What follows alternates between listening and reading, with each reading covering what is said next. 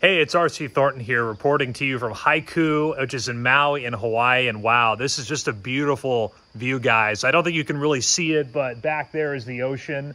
Uh, you have all this beautiful foliage around here. Uh, absolutely gorgeous place to be. So if you're looking for your next vacation destination, I highly recommend giving this a try, or at least considering up here in the mountains in Hawaii.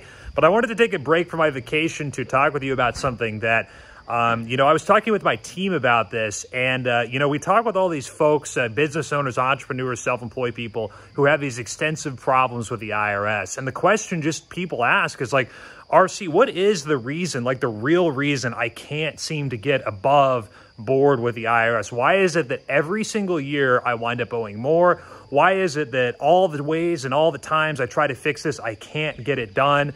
And why am I just been stuck for the last 5, 10, and for a lot of people, even 15, 20 years behind with the IRS?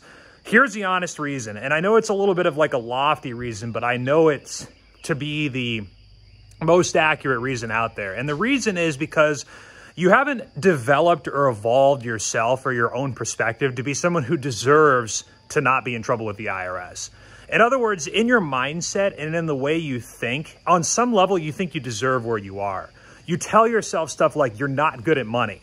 You're not a good enough businessman or businesswoman to manage your cash flow better. You can't grow your business bigger, better. You can't implement processes, procedures, and systems in your business to stay on top of things and be more effective at what you do. You think that bookkeeping is, is too difficult, that you can't afford high quality tax consulting or professional advice or, or, you try to do it all yourself. You're trying to be that that dreaded solo entrepreneur that's just grinding it out every single day and you're so wiped out at the end of the day after working 50, 60 hours a week.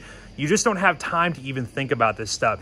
My friends, that's all in your mind. It's all your perception of who you are as a person. And as long as you identify consciously or subconsciously as someone who is of this low threshold that you just can't do it, that's the longer you're going to be stuck because all the IRS negotiations and all the tactics in the world and all the things even someone like myself could help you with mean absolutely nothing if all you're going to do is continue to perpetuate the cycle every year. The clients I have that are the most successful make a very deliberate decision in their mind that they are done messing around with this stuff. They're going to restructure their business, they're going to restructure their finances, they're going to tackle other parts of their life too that are leading to this. They're going to cut their personal spending. They're going to get things under control. They're going to track their money better.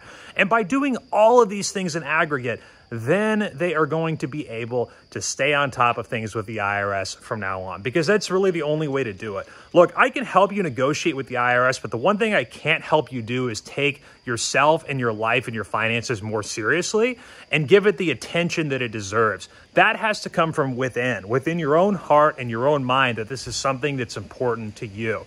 And it's something that we try to help all of our clients become aware of so that when we get to work and we negotiate with the IRS for you, you can actually have something that sticks and that works for you. So, I mean, I hope like that provides some perspective. I know it's kind of a lofty sounding thing, but honestly, it's the truth. Like, I mean, there's there's a reason people are perpetually stuck with the IRS, and you have to change the underlying actions and attitudes you have. So, I mean, if you're ready to get started on that process, if you've had enough and you're ready to make that transition into financially successful and sound business owner, I definitely encourage you to apply for a tax strategy session with me personally. There's going to be a link around here somewhere you can click on above, below, enter your information. It'll go right to my calendaring tool, and we can chat here. I look forward to talking to you soon. I'm going to get back to my beautiful uh, vacation and time here. Take care, guys.